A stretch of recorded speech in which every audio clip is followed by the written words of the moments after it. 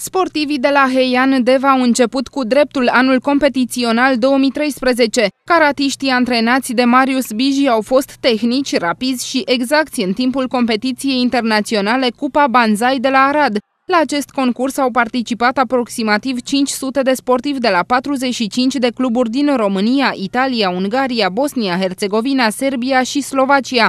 Delegația Heiandeva, formată din 18 karateka, a cucerit în total 22 de medalii, dintre care 18 la kata și 4 la kumite. Medalii ce le-au adus sportivilor de veni locul 2 în clasamentul general pe cluburi cu 74 de puncte, după Șodan, Timișoara cu 77 de puncte, dar înaintea gazdelor de la Banzai Arad, care au acumulat 70 de puncte. Lidera echipei Heian Deva a fost campioana europeană Andra Daniliuc, singura care a obținut trei medalii de aur la cata junioare și Open și cumite junioare. Foarte bine s-a prezentat la categoria veterani și antrenorul Marius Biji, care s-a clasat pe primul loc atât la cata cât și la cumite. După concursul de la Arad, caratiștii din Deva se pregătesc pentru următoarele competiții naționale ce vor avea loc în acest an.